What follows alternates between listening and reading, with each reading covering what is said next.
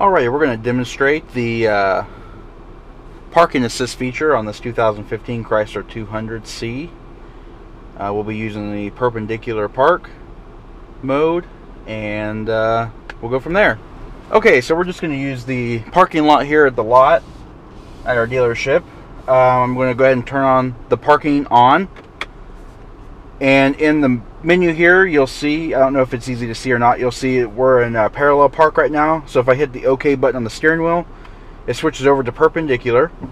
So that's what we're going to do. And there's a couple spots here. So we're just going to let the ultrasonic sensors find those. So we're going to keep our foot on the brake as the system senses it. It'll ding, it says space found, stop, remove hands from the wheel, and shift to reverse always keeping your foot on the brake and letting off a little bit, checking your surroundings. Now we're just going to move backwards. The car itself is doing it. I am not. You always want to make sure your spaces are clear. This has automatic braking as well. So it will automatically brake for you.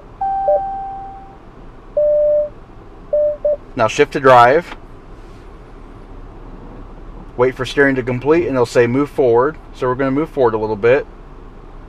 Now it'll say stop again. Now we're going to shift into reverse. And we're back on the back end of this spot that you see on the touchscreen display. Okay we are going right in.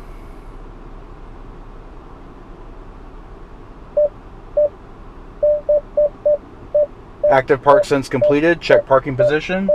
We look good